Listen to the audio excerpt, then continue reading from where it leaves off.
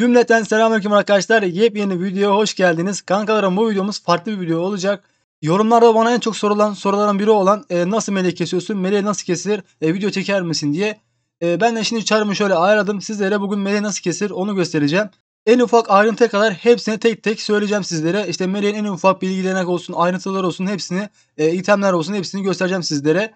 Hadi bakalım şöyle hemen hızlıca anlatımına geçelim. Arkadaşlar ilk başta meleğe girmeniz için 16 tane 90 level üstü çar lazım. Bu şart. Eğer 90 level üstü çarınız yoksa meleğe giremezsiniz. E, 90 level e, sınırı var. Şimdi 16 tane 90 level çarınız var. Arkadaşlar kayıt almak için bak meleğe kayıt almak için 4 tane çarı buraya açıyorsunuz. E, gelip şu dayıya var ya ejderha bekçi donar. Ona tıklıyorsunuz buradan kaydol diyorsunuz. Meleğe diyorsunuz. Bu şekilde mesela şu an kayıt olduğu için kayıtlısınız diyor. E, Meleğe geçiş bileti istemiyor. Çoğu arkadaş bunu yanlış biliyor. Hani geçiş bileti istiyor mu, zırt pıt istiyor mu diye. Böyle bir şey istemiyor. Sadece sizden kayıt istiyor. Kayıt oluyorsunuz Meleğe. Ondan sonra çarlarınızı içeri atıyorsunuz. E, kayıt almak için de 4 tane hesabın açık olması lazım kapıda. E, 90 level 6 çarı da Meleğe sokamazsınız. Bunu tekrar bilgisini vereyim. Bir tane lonca kurmanız lazım. E, lonca kurup lonca da şu şekilde hemen sizlere göstereyim. E, şu savaş simgesini vermeniz lazım. Bak şuradaki tıkların hepsi işaretli olması lazım. E, çoğu arkadaş bunda da oyun kapandı. Heh, tamam şimdi geri geldim arkadaşlar. Az önce oyun gene kapandı. Ananı avradını Tam 5 kere çara açmaya e, tam 5 kere oyuna girip geri çıktım. Sonunda girebildim çara. Abi şu lonca şeyini unutmayın. Özellikle bunu çok kişi unutuyor. E, buradaki işaretleri verin. Öbür türlü giremezsiniz meleğe. E, bu ufak ayrıntıları verdikten sonra dediğim gibi 16 ça- e, 16'dan 90 level üstü çar. E, kaydı buradan alıyorsunuz. 4 tane çarla. E, lonca simgesinde yanındaki işaretleri veriyorsunuz. Şimdi mesela arkadaşlar 16'dan çar açacağım. E, hepsini tek tek içeri açacağım. E, bu süreç nereden baksanız bilgisayara göre değişiyor. Benim ortalama 5 dakika 10 dakika süre. Tabii Metin2 e, sağ olsun bu süre 15-20 dakika bazen çıkabiliyor. Sürekli istemci hatası verdiği için. Şimdi ben şöyle çarları bir açayım. E, ondan sonra tekrar kayda gireyim. Evet arkadaşlar şimdi 16'dan çarı açtım. E, hepsini karaktere attım. Şu 4 tane çar gene burada kalacak arkadaşlar. E, bunun sebebi ise savaşı başlatmak için e, 4 tane çarın gene açık olması lazım. Bakın şimdi hemen şöyle itemleri takıyorum. Abi şöyle takayım hızlıca. Sen itemleri tek tek göstereceğim o yüzden şey yapmayın. Ee, şimdi bakayım bir. Şöyle. Abi şunları basıyorum. Bunları basıyorum. Bakın marka yükleyeni o bu hiçbir şey yok. Sen yüzünde süresi bitecek. Az kaldı. 2 saat kaldı. Ee, şöyle bir de yavrumcuya dönüşeyim. Normal uşağa dönüşüm ama video için e, yavrumcuya dönüşeyim şöyle. Dönüştüm. İtemlerimi kontrol ettim. Şamanla ay, artımı verdim. Hatta isterseniz şaman ekranı size vereyim. Gerçi şaman ekranına pek gerek yok. Çünkü onun fazla faaliyeti yok. Şimdi arkadaşlar bu çarı gidiyorum. Buraya koyuyorum bak. Baş üstüne koydum şöyle heykele koydum. Buradan üstte açıyorum. Tamam mı? Ee, şamanımı kenara getiriyorum şöyle. Hemen şaman kenara geldi. O iki tane açık karakter var bak. Onu unutmayın. Onu hemen karakter atıyorum şimdi hızlıca. Tamamdır arkadaşlar. Şimdi e, iki çarıda karakter attım. Şu an sadece e, Ninja ve Şaman açık. Ben hemen şöyle sizlere anlatımına başlayayım. Arkadaşlar melek 4 aşamadan oluşuyor. Birinci aşaması bu. Birinci aşamasında böyle böcekler atıyor. Bu 4 tane heykeli yapmaya çalışıyorsunuz. Birinci aşaması bu. Ondan sonra ikinci aşaması ise onu da e, oraya geçince söyleyeyim ben sizlere ikinci aşamanın ne olduğunu. Şimdi birinci aşamada arkadaşlar bu 4 heykeli yaptıktan sonra ikinci aşamaya geçecek. E, ben bu süreçte sizlere itemi tanıtayım. Şimdi arkadaşlar ilk başta ben e, Mele'de derici metalli olduğu için e, şöyle 15'lik e, veya 12'lik veya 20'lik basıyorum ama çoğunlukla 15'lik basıyorum. Şöyle 12'lik e, kritik basıyorum. Bir de şunlara basıyorum. Yani kullandığım şeyler şunlar arkadaşlar. Başka hiçbir şey kullanmıyorum. E, bunlar var sadece. Kullandığım şeyler. Arada da şu büyü şekline basabilirsiniz. Pek işlemiyor. Ben işlediğini hiç görmedim ama yine de basabilirsiniz. Yani içinizi rahatla- rahatlatmak için. E, farklı bir şey var mı? Bir de şu miniler aldığınız zaman şunu veriyor arkadaşlar size. Ejderha gücü iksiri diye. Bu da bosslara çok işe yarıyor. Cidden hani hasarı bayağı bir düşürtüyor.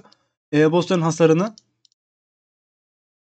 Ondan sonra arada sırada balık basıyorum. E, bu şey basıyorum. Zargana basıyorum. Zargana işe yarıyor dönüşümde. Ondan sonra dediğim gibi markamlıkla kullanmıyoruz. Abi hemen sizlere itemleri göstermeye başlayayım. Abi şöyle bir tane 33 ortalama e, 10 derece 7 metrinde bir e, yayın var. Şöyle becerili kas arkadaşlar dönüşümde beceri kas takın. E, Hidra giriyorsunuz eğer belgesel kas takın ama Mele'de e, becerili kas takın bunu unutmayın. E, elmas kusursuzsa şey takabilirsiniz. Belgesel kas takabilirsiniz ama Master kesinlikle bunu takın. Ok olması Mele'de hafif bir işe yarıyor. Hani o kadar bir faydası yok. Hani öyle bir almış alın böyle bir şey fark etmiyor. 15 ateş, e, 3 zehirlemeli, 10 büyülü, 10 oklu, düşük rütbeli bir tane kaskım var. Şöyle e, 10 hip hapse ve 15 ateş 1.5K hip ile zırhım. Şöyle ruh kemerim e, standart bunlar zaten. Şöyle ateş ayakkabısı 1.5K hip 10 kritik e, 4 zehirleme. Şöyle 15 ateş 1K hip 10 deliceli bir bilezik. Şöyle 12 güç sersem e, saldırı değerli büyülü, büyülü saldırı değerli bir e, titan. Bu arada dönüşümde saldırı değeri falan hiçbir şey işe yaramıyor arkadaşlar onu söyleyeyim. Biyoloktaki aldığınız saldırı değeri artı kuşaktaki saldırı değeri artı içtendeki saldırı değeri hiçbir şey yaramıyor. Bilginiz olsun. E, Yakut'taki saldırı Yakut'taki STR de bir işe yaramıyor. Onu da söyleyeyim. Şamanı kaldırayım. Şöyle artı alayım tekrardan. Şöyle bir tane kolemiz var. 10 kritik, 1.5 KIP, 5 kanama, 7, 7 metin. Şöyle e, 20 eşya düşünmeli. Efsun'a hiç bakmıyorum. Bu önemli değil. Bu düz de olabilir. Arkadaşlar şimdi 4 tane heykeli yaktık. Bakın gördüğünüz gibi şu an birinci aşama tamamlandı. E, kuşağı göstereyim sizlere. Kuşağım şu şekilde. O kadar iyi bir şey değil. E, idare etmelik bir şey. Desen değiştireceğim bunu. Şöyle bir tane auram var. Dur ben şemalı şöyle bir götüreyim. Hemen hızlıca. Ondan sonra devam edeyim. E, şöyle bir tane kuşak. Şöyle bir tane aura. Şöyle düz kostümler var. Ee, şöyle 10 derece 5 zehirlemeli bir tane şeyim var. Ee, fişim var. Şöyle 105 level şöyle 105 level Alostor'um var. Ee, belgesel, talim, canavar basılı. Bu Razodor'u olabilir. Yani hiç fark etmez. Ee, ben birazcık Alostor'u tipini sevdiğim için biraz daha hani çok istiyordum Alostor'u almak. O yüzden de aldım yani. Ama bu Razor da olabilir. Ben, ben önceden şu Razor'u kullanıyordum yani bildiğiniz gibi. Razor'la meleği kesiyordum. Aralarında 1K gibi demeç oynuyor arkadaşlar. Hiç farkı yok yani. 1K'da o kadar önemli değil. Hani Alostor alacağınızda gidin çarı zalim yapın. Aynı e, şeyi görürsünüz. Mantığı görürsünüz. Şimdi şu yumurtaları patlatayım. Bakın arkadaşlar şimdi atak vuracak. Bu ataktan kaçın. Bak ben şimdi baba yiğit gibi kaçmadım. Tek yemedim. E, bu ataktan kaçın. Öbür türlü tek yersiniz. Çoğunlukla. Şimdi arkadaşlar şimdi simya geçelim. Simyada önemli bir e, kritik bir nokta var. Abi şöyle tek ortalama kusursuz yakutum var. E, hatta ortalama direnç var. Bunun hiçbir işe yaramıyor direniş. Sadece buradan ortalama zarar benim işime yarıyor. Buradan ben bir şey basayım. Şunları tazeleyeyim. Şöyle elmas arkadaşlar. Elmasda olması gereken e, Evsun beceri hasarına karşı koyma olacak kesinlikle. Şöyle bir tane Onyx arkadaşlar Onyx'te en önemli Evsun kritik vuruş direnç. Hani delici yansıtma hiç önemli değil. Kritik olduğu sürece işinizi görülür, e, işinizi görebilirsiniz. E, bunda hipo absorbe olması şart Kanada'da. Safir düz olsa da olur. Yeşimde hipo absorbe çok önemli. Ben şu an hipo absorbe yok ama e, değiştireceğim bir yeşimi. O yüzden şu an takıyorum. Hip hop olsa çok işinizi görür. Bilgisini vereyim bunu da.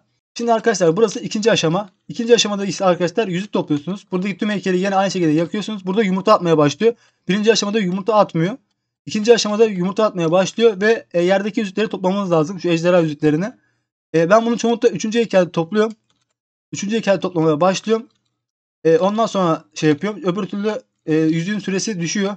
Eğer meleği ucu ucuna kesiyorsunuz arkadaşlar. O zaman yapmanız gereken şey ise Dördüncü heykelde yüzükleri toplamaya başlayın. E, üçüncü heykel toplamayın.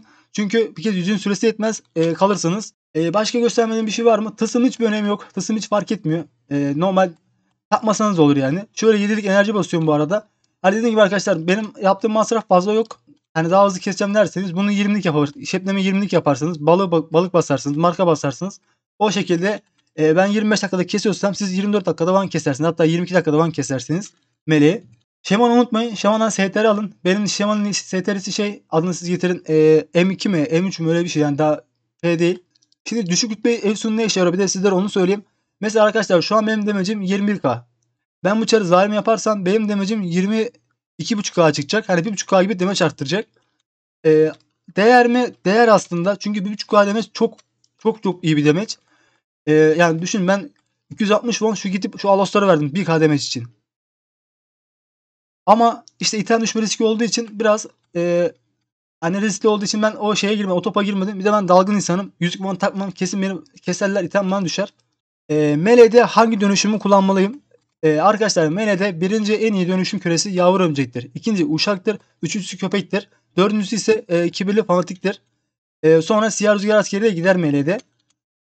Hani en iyi dönüşüm yavru örümcek arkadaşlar. Bu yani kesinlikle garanti olarak söylüyorum sizlere. Yavru örümcek. Ondan sonra uşak uşağın en iyi avantajı meleğiydi arkadaşlar. Mesela şu an uşak olsaydı bu yumurtanın tam ortasına girerdim. Bu yumurtaya üçlü vurdum ben. Ee, üçlü vurmada nereden baksanız size 10 saniye kazandırıyor. Yine arkadaşlar kafanıza takılan bir soru olan varsa yorumlara yazın ben cevap veririm. Sıkıntı değil. Ee, yeter ki yorumlara yazın. Ben hepsinden cevaplıyorum tüm yorumları. Şimdi arkadaşlar çarı ortaya getirdim. Bakın benim çarım dayandığı için ben bak şöyle pelerin basıyorum. Tüm ejderleri her şeyi üzerime alıyorum. Zaten benim kusursuz yakut takma sebebim bu arkadaşlar. E, Dandana kanını mükemmel taktım. E, Char çok fazla damage yemeye başlamıştı. Ama kusursuzda bu kadar bir sıkıntı yaşamıyorum. Bosslarda arkadaşlar e, yavru örümceğin sırtını bakın şu an çok hasar yiyorum mesela. Şunu bastığım zaman hasar direkt düşecek. E, şu şekilde hemen bir tane yaşam basıyorum. Yaşam basın arkadaşlar. Sen savaşa girmiyorsunuz bir şey yapmıyorsunuz. O yüzden yaşama basın yani acımayın. E, dönüşümde arkadaşlar burada e, dönüşüm küresinin hani yavru örümceği duvara karşı bakın. Yani şu tarafa doğru baktırın dönüşümü. O, o şekilde vurun. E, sekmezsiniz. Bize space ve W, W'ye basın. Sizi şu cellatlar sektiriyor öbür türlü. Yerden kalkamazsınız. E, bosslara hasar vuramazsınız. E, arkadaşlar bosslarda eğer çar dayanmıyorsa ikili çekim bakın. Bosslarda bir patlarsanız işiniz çok sıkıntı. Ah bakın arkadaşlar gördünüz? Bak gördüğünüz gibi duvara karşı bakıyorum böyle vuruyorum. Böyle döndüğüm zaman beni bunlar attırmaya başlıyor. Ta dışarı kadar attırıyor. O yüzden de sırtımı buraya veriyorum yani. E, yüzümü duvara karşı veriyorum. Şimdi arkadaşlar burada en önemli kısım ise diyelim hasarınız yetmiyor. Meleğe ucu ucuna kesiyorsunuz. Hemen geliyorsunuz abi. Şurada bir tane yumurtayı patlatıyorsunuz. Bakın bu çok kritik arkadaşlar. Bu menede e, süresini oynatan bir şeydir. Bir dakika aşağı indirtir sizi. Şöyle kestim abi. Bir tane yumurtayı patlattım. Hemen geliyorum abi. Buradaki yumurtaları vurmaya başlıyorum. Bakın iyi izleyin. Buradan yumurtanın canını takip ediyorum. Vuruyorum vuruyorum vuruyorum vuruyorum. Bırakıyorum. Bırakıyorum. Kaçamıyorum. Ha, kaçtım tamam. Abi kaçıyorum hemen. Gördüğünüz gibi bir tane daha yumurta attı. Gördünüz mü bakın. Az önce bir tane kesmiştim. Hemen bir tane daha yumurta attı. Şimdi arkadaşlar burada eğer 4 tane yumurtayı patlatıp heykele gitseydim e, ne olacaktı biliyor musunuz? Ben heykele vurmaya başladığım zaman bir tane daha yumurta atacaktı. 4 tane daha yumurta atacaktı. Şu an ne oldu? Ben bir tane yumurtayı patlattım. E, sadece bir tane yumurta attı. Ama dördünü patlataydım eğer 4 tane yumurta atacaktı. Ve ben heykele vuramayacaktım. Şu an mesela bir buçuk dakika önce heykele vurabileceğim. Bakın gidiyorum şu an rahat rahat heykele vurabiliyorum. Arkadaşlar özellikle bakın bosslarda çarınız dayanmıyorsa bak çarınız dayanmıyorsa kesinlikle bossları dörtlü çekmeyin. Bossları ikili çekin. Hatta bir tane e, full ateşli bir tane çar dizin. Onun kenara koyun. Tüm ejderleri o çarın üzerine alın. Eğer çar dayanmıyorsa. Şimdi Mele'de bazı arkadaşlar soruyor hangi enstitüler işe yarıyor, hangi şey yapmam lazım. Arkadaşlar birinci metin taşı, ikincisi delici, üçüncüsü kritik, e, dördüncüsü arkadaşlar zehir kanama. Zehir kanama neden arkadaşlar? Az önce bosslarda gördüğünüz gibi bosslar zehir kanama yediği için hemen rahatça kesildi. Bakın bende şu kolye yokken şu ben o bosslarla cebelleşiyordum. Sonra gidip kolyeyi aldım. İşim rahatladı. Ya kalkandan ya işte zırdan ya bilezikten bir yerden zehir kanama alın. Öbür türlü sıkıntı %3'ün üzerine tutun arkadaşlar zehir kanamayı. Daha rahat verebilirsiniz. Bu arkadaşlar artık meleğin son aşaması. Dördüncü aşaması. Bundan sonra yüzük atma aşaması var. Onu da sizi göster, e, sizlere gösteririm. Heh, bir de şeyi söyleyeyim ben sizlere. Meleğe nasıl bir sistem dizmeliyim, e, nasıl bir sistem daha iyi olur diye. E, arkadaşlar bende i5 7500 vardı. E, 750 ekran kartı vardı. Metin 2'de ekran kartı istemiyor. Önemli olan işlemci. İşlemci sağlam olması lazım. Bende şu an Ryzen 7 var. Ee, Ryzen 7 5700X var. Ekran kartı 3060 var. Ekran kartı hiç önemli değil. RAM önemli. işlemci önemli arkadaşlar. RAM'i yüksek tutun. işlemci yüksek tutun. Her türlü menüde çar açıp kesebilirsiniz. Sıkıntı olmaz. Ben mesela i5 7500'de 16 tane çar açıp kesebiliyordum. Ama son zamanlarda Metin 2 çok güncelleme geldiği için biraz kasmaya başlamıştı. Bakın şimdi çarları açmayacağım. Normal açmam lazımdı. Atak attı ama yumurta açacak. E, kendimi sıkıştırmamak için çarları açmıyorum. Bekliyor. Bak 16 açarı açmayı kesinlikle unutmayın arkadaşlar. Şu heykelle veya şu heykelle çarları açın. Kesinlikle açın unutmayın. Şimdi arkadaşlar bana en çok gelen sorulardan birisi işte ben meleğe şu kadar vuruyorum meleği kesebilir miyim? Arkadaşlar dönüşümde bir çarın 15.5K 16K üstü vurursa meleği kesebilir. 16K'da meleği keser. E, ortalama 34 dakika 32 dakika sürer. Bir, bir, bir dönüşümün süresi ise arkadaşlar 35 dakikadır.